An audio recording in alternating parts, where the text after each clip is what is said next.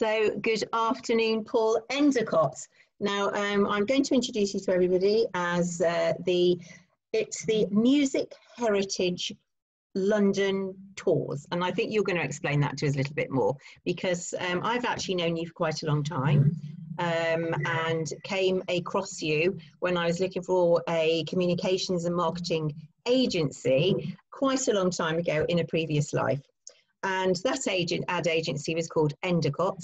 Endacott was it End- Endacott Advertising? Yes. Endacott, so Endacott Advertising. Yeah. So of which you were the commercial director. Uh, sorry, the creative director. Let's get it right.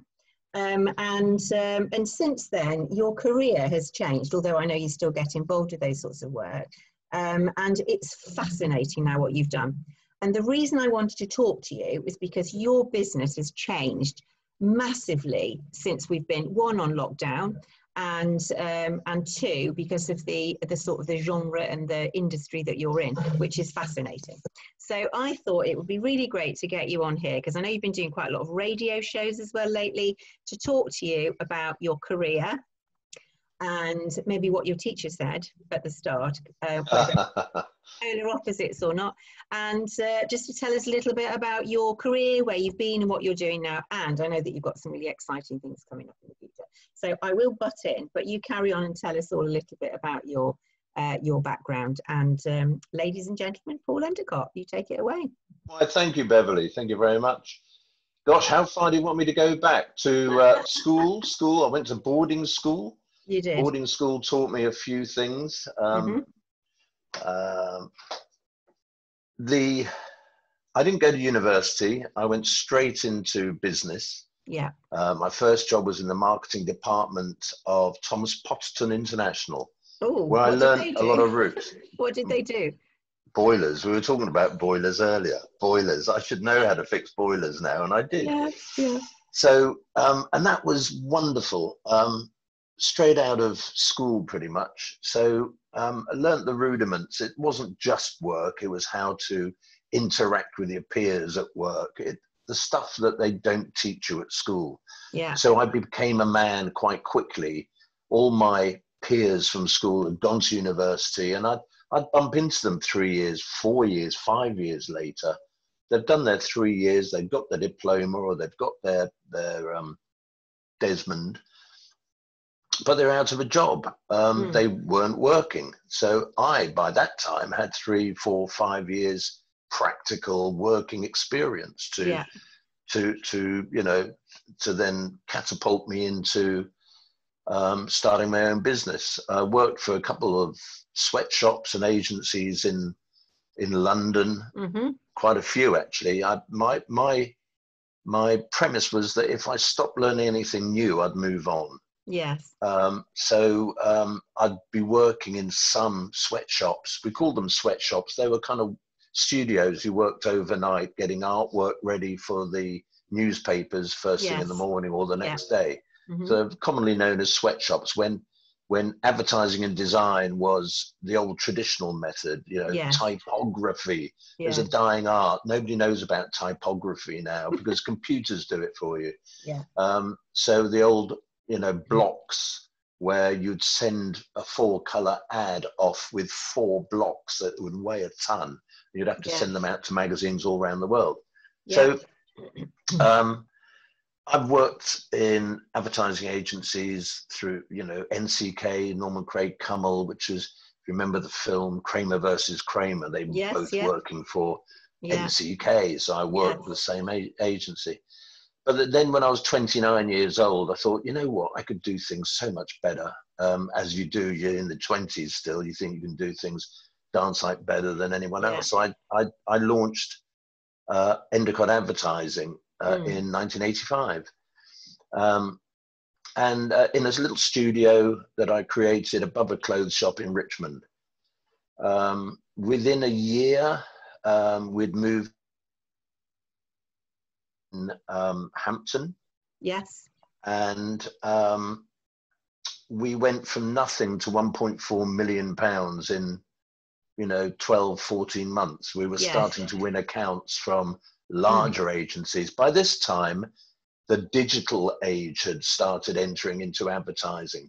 Yeah. And studio, we were one of the first studios to have Apple Macs dig- digital um, studio. In fact, I was getting phone calls from ex-employees of mine, uh, employers of mine, saying, um, "Oh, we hear that you've got a, a, Apple Mac agency, you know, a digital mm. agency. Could you, mm. if we buy you lunch, could you tell us how you do it? You know." So yeah, I thought, yeah. "Buy me lunch." Lost you there. Brandy, and and you want to buy me lunch? Anyway, yeah. we started winning some really good accounts over and above traditional and established West End agencies. Mm. So um, that was great. And through the 80s, we just motored. We just grew and grew, and we were getting some good brands. Um, but um, then the the crash happened, and you know interest rent, rates went up to fourteen percent overnight, and all the business owners in Hampton Hill mm. were in mm. the pub at lunchtime getting yeah. absolutely sloshed. I think I lived um, in London then, actually, in Maida Vale at that time. I think, and yeah, yeah. I think my mortgage went through the roof overnight. Yeah.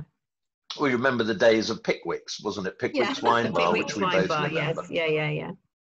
Um, so um, cut a long story short, you know, we came down out the other end. Um, I had a couple of problems. You know, one of our biggest clients was um, Swatch Group, mm-hmm. um, and we had within the Swatch Group itself, we were doing work for probably six of the brands within Swatch Group. Yes. And overnight, um, they basically decided, a corporate dictate decided that they were going to take all of their marketing in house. So yes. not only did we lose the, the Swatch brand, mm. but we lost all the other brands within the Swatch group, which yes. included Omega, um, Rado, Tissot, yeah. and, um, and so we lost probably 70% of our business overnight. So then mm-hmm. I thought, quick about turn, opened up a um, uh, the, the, the agency with smaller businesses rented rooms from me. I kept the studio going, so it mm. was a facility house.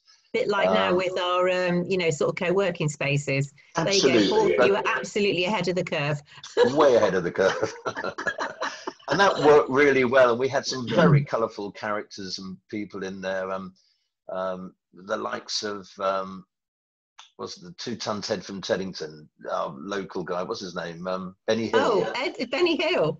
Benny yeah. Hill's um, producer and director, Dennis Kirkland, rented yeah. space from us. So you can mm. imagine how colourful it was. Mm, mm. And, you know, with Benny Hill coming in, when Benny unfortunately passed away, we had the likes of, um, oh God, um, what's his name? The, the actor, uh, Oliver Reed used to yes, come yeah. in. We you remember Oliver Reed in Hampton yeah. Hill? I remember all this in? really well. It was when I was actually I was actually working with the Chrysalis Group at the time, I think. Yeah. And, uh, um, and we were setting up a company called Chrysalis Interactive, which was sort of point of sale, point of information, that type of thing, with interactive training, which of course is now my background. Um, and uh, yeah, so it's all about that same time. I remember all that quite well. Yeah, yeah, yeah, yeah, definitely. Really colourful. So anyway, and as it went on, advertising changed so mm. much dramatically. Um, you know, we didn't have the, the the two or three trade magazines or the you know consumer press. It it would it just it was so well the tools in the toolbox just grew and grew and grew, mm. and to try and keep up with the technology, I was finding a little bit difficult as I was getting older. So I then set up on, on my own when I got married, had kids, set up my studio in mm-hmm. at home. So I had a mm. home home office, carried on doing advertising. Um, but at the age of 59 and three quarters, I decided that advertising was not the right thing for me. I was getting too old. Mm. ageism was getting in, mm. you know, mm. talking to 20 and 30 year olds when you're in your late 50s just you was the credibility factor had gone, yes. even though yes. the same rules of thumb applied. Yeah. Um, but um, so I, I decided that I wanted to get into something that would offer me residual income. Yes. Um, I'd lived in Richmond for 40 years. I was a semi pro musician and I had a marketing mm. and creative background. So I know no, from about 18 that you played a guitar. So oh God, I played the guitar at boarding school. I used to yeah. tell everyone saying, you know, one day I'll be on top of the pops. Never was. So Still time. But this is formed actually part of what you're doing now, isn't it? Which I'm, is actually quite fascinating, and it's amazing what you've actually achieved in six years. So well done. Um, five, so years, five. five is it? Oh, sorry, making you older than older than you are. Um, so tell us about that. Tell us about these heritage um, heritage. Okay. So as I mentioned, knowing living in Richmond for 40 years, you get to know mm. pretty quickly the um, the immense music heritage and collateral that we have here. Yeah. Um, and um, five years ago, I visited Liverpool and to see what they were doing with the Magical Mystery Tour and the Cavern yeah. Club, etc., just to mm. get some, do a little recce. Mm. Um, I did the Magical Mystery Tour. It's about hour and a half, two hours maybe. But the content, where the bus would stop at a street sign that said Penny Lane, and everyone, mm. tourists, would get out and take photographs of a street sign. I thought, well, yeah, I can imagine if you're a Chinese or Japanese or American, that Penny Lane means a lot to you. But it, when you visit, you know, um, West London has is the cradle of British blues. Yes. And the bands, the seminal bands that started there, mm. um, at Eel Island and the Crawdaddy Club and the Richmond Jazz and Blues Festival, the yes is immense and nobody knows about it. So mm. it was a mm. blank canvas as far as that was concerned. Mm. Um, Liverpool and the Magical Mystery Tour carry, well, the Magical Mystery Tour carried in 2018 80,000 passengers. Mm. Um, and um, I just thought, you know, I'm going to start something. I started Music Heritage London with a view to packaging and promoting the vast music heritage we have in West London. Yes. Um, and you know, we have probably the the Beatles spent as much time down here at Twickenham Studios and uh, as as they did in Liverpool. Because they went so, to Maida Vale Studios as well, didn't they? They were they actually used to go there, and I think that um, uh, the, the famous road that they were crossing. What was that? Oh, that road? was no, that was that was EMI Abbey Road. That was Abbey, Abbey Road. road. Yeah, that's uh, right. Yeah. yeah, yeah which is in which is up in uh, West Nine, yeah. is it up that way? Yeah, yeah, yeah, yeah in London, yeah. So, so that was so. So all the Beatles fans, when they come to London, really that's what they want to do.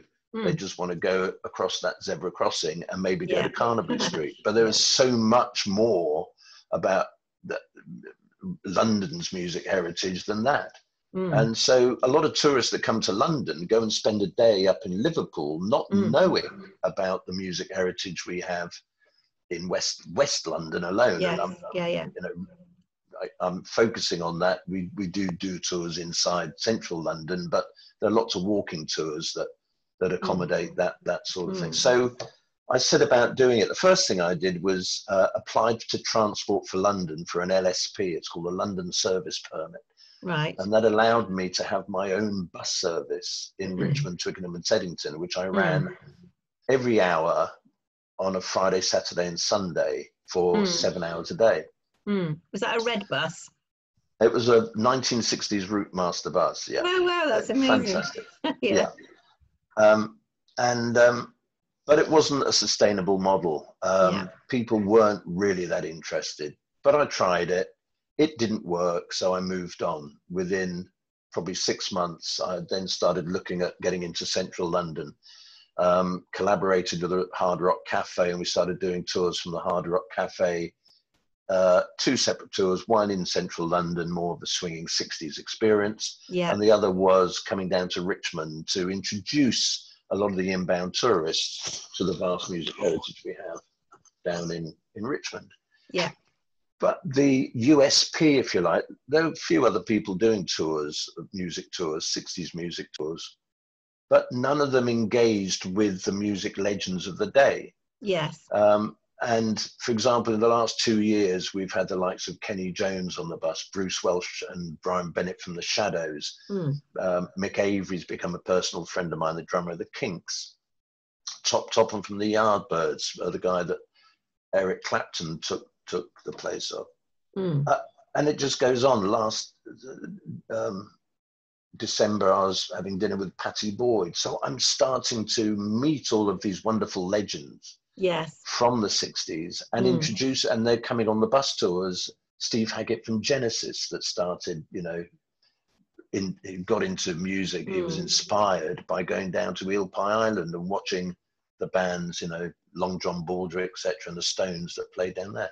So yeah. I'm getting in, involved with them all, and they're coming to the party because it's their legacy that mm. we're helping to perpetuate. Mm. The sustainability of this is not aiming at the baby boomers who have fond memories of that era, but yeah. it's in the next generation. So yeah. what interests me is the culture, mm. um, that uh, what the tipping points were. So that's giving the product a lot more depth. Um, Group Travel Organizer magazine gave us the quote a couple of years ago saying uh, it's the most immersive and compelling music experience to rock the streets of London. Yeah, because I mean, on your website, it's absolutely, it's amazing, isn't it? You know, and um, that whole, um, excuse me, that's um, you know what you're doing and i know that you've you've sort of changed things because of the um, uh, the sort of the lockdown uh, that we've had as well but um, and on, but on your website you know people can actually go and read all about the you know the testimonials people have written uh, written about you which is amazing and you've done incredibly well you know in that short space of time mm. so i'm quite interested to see how you've um, sort of taken you know what you know on online which is just amazing. I mean, you know, when people think about bus tours or tours, they think about actually getting in a, you know, a, a wagon and going off. So yeah. You've done, you've done something quite special recently, I think. Well, it's it's starting to work now. We we um, when lockdown happened, and we realised very quickly that there weren't going to be any inbound tourism coming into mm. London. Mm. And the group tours, I mean, for example, in December last year, just, just in two weeks, we carried 126 Norwegian tourists that we looked mm. after for four out of their five day excursion in London. And they booked straight away after that for this October. Yeah. Now, that was cut off straight away. Suddenly we were, we were, we were uh, excommunicated from our, from our, our um, our market. Mm. And I had to think outside the box, and I suddenly thought experience. It's all about the experience. Yeah. As as the old saying, I wish I'd thought of it myself. It's not what you tell them; it's how you make them feel. Mm. And how I, how can I recreate this um, without any tourists coming to London? I thought I've got to take London to the market. Yeah. And with the advent of uh, the popularity of Zoom, and bearing in mind, a lot of grandparents have got to know Zoom very quickly because yeah. their kids have taught them how to use it to, so that mm. they can they can um, have conversations with their grandchildren. Yeah. So our target, our initial target audience, the baby boomers, who who are the low hanging fruit, um, are au fait with the technology. Um, and we can now go out to a global audience, mm. um, those that are um, in their ranches in California or the high rise apartments in Buenos Aires, big fans yeah. of the Rolling Stones. um, and uh, we can do that virtually. And we started doing these virtual, live virtual tours as opposed to a lot that's out there yeah. that is pre recorded. Mm. So we have warts and all but we also invite the music legends along as well to be in that party. So mm. recently we've had the Beatles hairdresser, we've had uh, Tony oh, wow. Bramwell, who was the, um, the, the, the, the, road manager for the, for the Beatles. Mm. Um, many, many, um, John Lennon's childhood sweetheart has been on our tours, you know, that mm. remembers John fondly. So we're getting the, our USP again is the fact that we have it's live, so the screen shows the road as we're trundling down. For example, we're cruising the King's Road. Yeah, now, that's actually quite sexy if you're you're in America in a in in Manhattan or wherever it is, and you fancy popping over to London live to do a, a 60s um, tour uh, for an hour in the company of a 60s celebrity mm, uh, and learn learning about the music the music supplied that we play is uh, supplied by Radio Caroline. Again, mm-hmm. authentic. Mm. We need. We're trying to keep the product as authentic as possible. Yeah. Um, so Radio Caroline supplied us with a soundtrack with all the original jingles from the '60s. Oh wow, that's incredible. Yeah. So it, it's and it's starting now. We've just launched or in the process of launching a Beatles in West London tour. So we now we have three tours, last pretty much an hour. The Beatles one lasted an hour and a half. There's a little bit more travelling to do. Um, uh, it's the Swinging 60s experience. So we focus in central London, uh, Kings Road, Kings yeah. Road, Edith Grove, Cheyne Walk, uh, South Ken.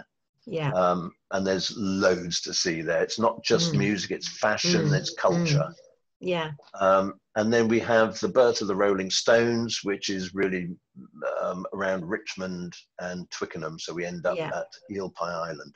Mm. Um, and we're just launching the Beatles one, as I say, in, in mm. the in the company of celebrities. So we've mm. we've got passengers in the last couple of weeks. We've had passengers from Cape Town, from California, New York, all uh, virtually, uh, which is amazing. Vancouver, yeah. Spain, all yeah. virtually. Yeah, that's fantastic. And so it's a lot cheaper. You're actually doing the drive, though, aren't you? At that at the same time, so it's all live. It's all live. I'm driving and hosting the event. The Beatles one will be co-hosted by a guy called Richard Porter, who will be mm-hmm. sitting at his home computer showing you screens, uh, pictures, images, uh, videos while I'm on the road. Um, and again, we'll be um, in the company of 60 celebs. Mm. Um, so uh, that's the way forward for us. And it's now just a case of uh, channels to market and making people mm. aware of it. Mm. And the ones that have the TripAdvisor reviews that we've already got have been phenomenal. In fact, there's a, a group of guys from California who are just about to go on their third tour. They've just booked their third tour this month, or mm. you know, and in um, in the last four or five weeks, mm. because they enjoyed the first two so much. So yeah. they go, they're they're repeating one of them. Yeah. Um, so um, and their quote was, you know, I I pay paid the the 12 pounds just to come down to London for an hour and be in your van yeah. seeing the King's Road, let alone all the content that you, yeah, you, that's uh, right. Yeah. you promote.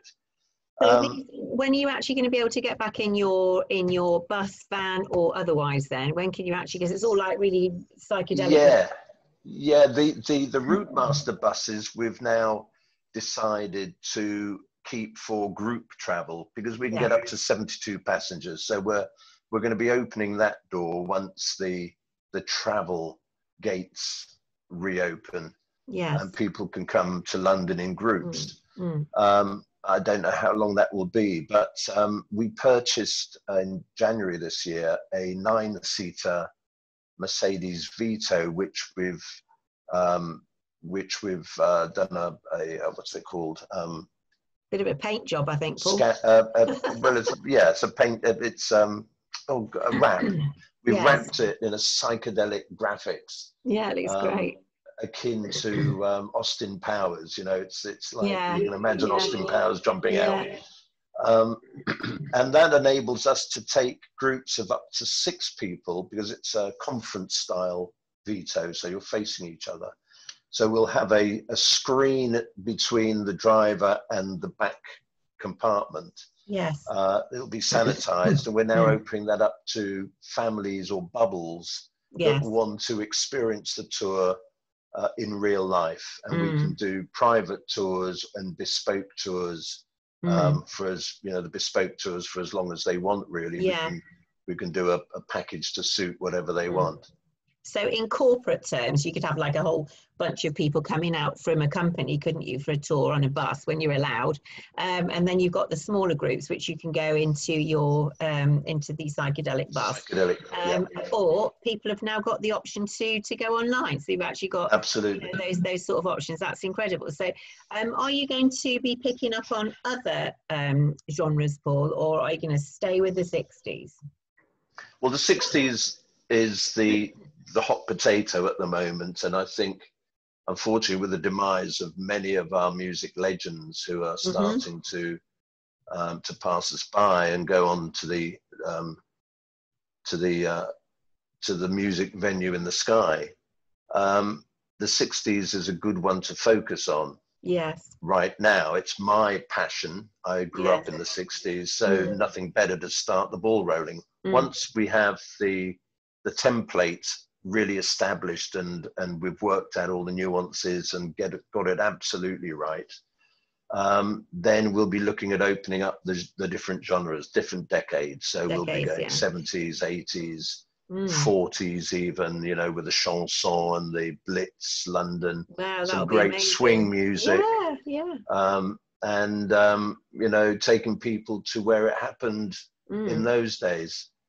Not to say we're, we're, we're not going to be hitting the people, especially in the 40s, that remembered it. So it's Yeah. very much, uh, we've got to be very clever with our marketing on that. Mm. Um, I'd like to think that we have, um, well, as an example, we we did a 50th anniversary event at the Gore Hotel because we also put on live music as well yes. um, at the Station Hotel and at the Troubadour. Mm. And we put on a 50th anniversary event in 2018. Uh, it's where the uh, the Beggars Banquet album release was at the Mm. Gore Hotel in 1968. Mm. It's where the famous Rolling Stones food fight happened. Yeah, yeah. and um, um, stay with me on this. I'm coming to the point. Yeah. Um, I'm there. the um, we we we had a hundred. It was a sellout uh, event. Um, the Gore Hotel were brilliant for this event. They uh, their marketing department really helped us out. Um, there were people flying in from Europe for it. Um, we Wow. there were six, 60 covers for dinner. Thirty people on, stayed at the hotel. Mm. Um, I booked not the Rolling Stones, which is the one of the best uh, Stones tribute bands I've Tribute ever heard. band. Yeah, yeah. hmm Uh, the Mick Jagger is a doppelganger for for, Is for he? Mick. Um, but I also invited along Chris Welch, who is the journalist for Melody Maker, who was at the party 50 years before, Oh wow. and um, and Michael Joseph was the photographer of the Beggars Banquet album cover. Mm. I found him and I invited him along, and they both Yeah. said a few words to Yeah. the assembled. How great is that? Um. And it was a re- and obviously we had the bus tour as well, so Mm. people could could have the option of having, you know, dinner, bus tour, and gig, dinner Mm. and gig, gig on its own. Mm. So we had lots of different options. It was so successful. yeah. But the overriding thing, and you'll see on our website, there's a video that we've made of that evening. But the overriding um, uh, impression and result from that is that I found 50% of those that attended were young people. Yeah. So that is our sustainability of what we're doing. We wouldn't Yeah. be able, we wouldn't be in existence in hopefully another five, ten years' time if we just aimed it at the baby boomers. We've Yes, got to look course. at the millennials Mm. and even younger. And Yeah. I'm glad to say that there is a, a, a great sort of friendship groups and other, um, uh, you know, uh, gr- groups of people around London, if not the whole country, and hopefully worldwide, Yeah. are starting to engage with the philosophy, if you like, of the counterculture, because Mm. they're going to need it a lot more Yes. in the, what in in what the legacy that we've left the kids. They're going to have to Mm. almost be engaged, uh, uh, uh, inspired by the way we grew out of the austerity, post-war austerity. Not that I remember Yes. the, the war, Yeah, but yeah. our our kin, yeah. you know, sure. our parents grew, and that was the, what what Mm. um, what got them out of the war. And it's going to be tough for our kids in the future, and I think they can learn a lot by the the mo, the modus operandi of how Yes. people lived Mm. and and got on with it in in Mm. the post-war culture, Mm. um, and uh, and be inspired by, you know. So the young the youngsters. I mean, I think it's great, isn't it? Because you've got like your music background, you've got your your comms background, your agency background, and and now your music background again. So you Yeah. know they say that if you do something you love, you never work a day in your life. And it seems to me, Paul, that you're actually now uh, just living your dream, really, which is music and you know that whole uh, that whole way of being and taking people on tours because you're a very affable person to sit and chat to and uh, you know, and uh, you put a check in the post, and um, the you know just the whole way that you're actually coordinated that now and taking it online, you know, to meet the the needs of our of our current situation. So this whole um, passion and thing that you've been doing for years has all now come around into your job. And uh, so back from the boarding school days when uh, you were what? What were you like at school? Were you? a little mouse. I wouldn't say boo to a goose. I was beaten up. Uh, and I'm going to get them back, I tell you. I'm going to get the Peaky Blinders after them. Yeah, Peaky Blinders, that would is.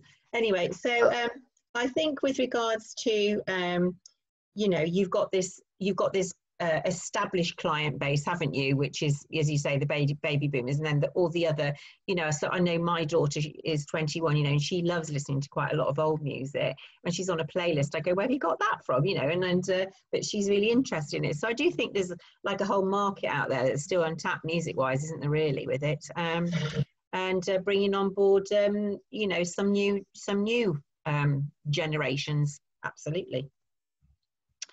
So where's it going to go for uh, Music Heritage London in the future then? What, what have you got planned for us over the next uh, over the next six months or so? More online? Well, yeah, it's it's um, the, the the live tours, the live um, uh, private and bespoke tours in the minibus. Yeah. Um, mm-hmm.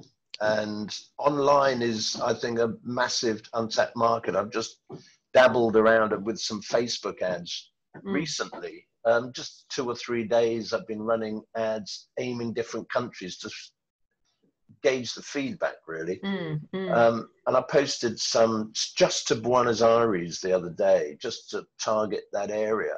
Yeah. And we've had a reach of something like 60,000. And, um, you know, massive. the response, the engagement, yeah. not many bookings at the moment. So, mm what we're doing to counteract that is we're, we're starting to work with a translation company up in Halifax in West Yorkshire.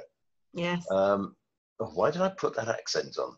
Uh, I apologise for any Northerners out there. Um, very good. So what we're going to do is translate, or not translate. We're going to have interpreters on the tour when we oh, wow. target countries yeah. like Latin Spain. So we won't mm. just do Spanish, we'll be doing mm. Latin Spanish. Mm. And we'll have interpreters, which means that they'll still hear my voice at 20% of the volume, but they'll yes. hear, the interpreter 80% of the volume. Mm. And the ads that we produce, Facebook ads, and the content on our booking page will all be in Spanish. So I'm hoping that that would be, that is the barrier to them converting from the interest that they've already shown. As say, mm. the likes and the shares have been phenomenal. Yes. But the conversion has been poor, and I put the barrier to conversion to be the language. Yeah. So, you know, we we we try we continue to test um, these tours and adapt them, and because at the end of the day, it's that's what that's what it's all about. You, you never stop testing. Yeah, that's never right. stop testing and you've got such an amazing now array of social media channels to hit different industries and different environments, different countries. I know in target, yeah, yeah absolute targeting, massive, isn't it? At the moment, I think it's just uh, it's just awareness, really, isn't it, of, of London heritage. What's your website address? www. It's 60sbus.london, simple as that. 60sbus.london. Bus.london, right. Okay, so we'll put that on the uh, the little uh, intro that goes with your your video today. So is there anything else you'd like to tell us, Paul, that uh, people might be interested to know about your tours? No, but um, sometimes it's it's hard to get your head around what it's going to be like. All mm what I'd recommend people do if they've got any doubts as to what it's all about, even after seeing the the websites. I've yeah. produced everything myself to keep the costs down with my creative hat on. um, but just look at the TripAdvisor reviews, and they can be found on the contact page mm. of my website. Have a read yeah. of those, mm. and that speaks volumes, uh, and mm. uh, much louder than I can, um, hmm. or you know it holds peer group advocacy is yeah, darn sure. sight more more uh, important to the potential customer than mm. than the owner going giving it some yeah, about how yeah, yeah. Oh, lost you there. So, uh, so there we go, and hope to see you on there one day. Yes, I'll be up. I'll be coming up as soon as I can. I did say that, and uh, that'll be really fun to sort of catch up anyway. Um, and uh, but uh, so music legend Paul Endacott thank you very much for coming to talk to us today. And I'm going to put all the details on about your tours on onto the uh, posts that we're actually going to use for this uh, this webinar, if you like. And uh, because I think what you've got is just amazing. And there's a few people I can think of also that are in the States that we could link you up to. Um, and I'm going to do that this afternoon. So, Paul, thank you so much. It's been an absolute pleasure uh, one to catch up with you and listen all about what you've been doing, but also, also because I've known you for such a long time and it's always delightful to catch up and see what you're all about. Thank you, Beverley. That's no problem at all. Speak to you soon. Take care.